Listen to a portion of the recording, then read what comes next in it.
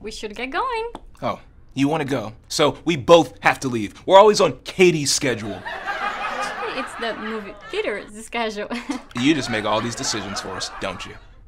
I feel trapped. I wasn't the one who wanted to go see a screening of Hairspray 4. Did you see Edna's moves and you can't stop the beat? Tell me it doesn't make you want to dance. Jesus, Glenn! Just, just, just stop it. Stop. Give me the key. Give me the key.